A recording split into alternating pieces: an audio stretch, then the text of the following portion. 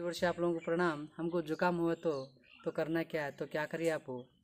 एक स्टोव पे एक पेन रखिए उसके अंदर पंद्रह, बीस, इकतीस, तुलसी के पत्ता डालिए, उसके अंदर पानी डालकर, गुड़ डालकर, चाय से सब पकाते हैं ना वैसा।